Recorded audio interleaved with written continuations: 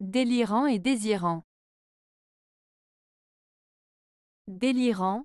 Le mot délirant est un adjectif qui désigne quelque chose d'extrêmement amusant, exagéré ou extravagant.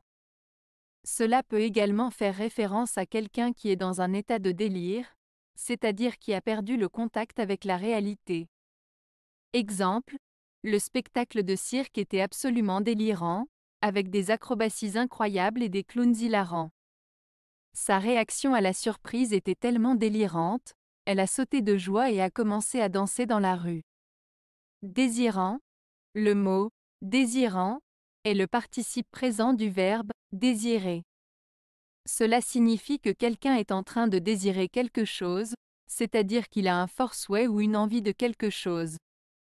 Exemple, elle était désirante de partir en vacances, elle rêvait de plages de sable blanc et d'eau turquoise.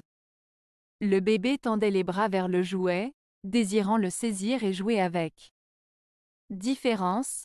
La principale différence entre délirant et désirant réside dans leur sens et leur utilisation. Délirant se réfère à quelque chose d'amusant, exagéré ou extravagant, tandis que désirant se réfère à quelqu'un qui a un fort souhait ou une envie de quelque chose. Délirant est un adjectif utilisé pour décrire quelque chose, tandis que désirant est le participe présent d'un verbe et est utilisé pour décrire l'action de désirer. Les deux mots peuvent être utilisés pour décrire des émotions intenses, mais dans des contextes différents.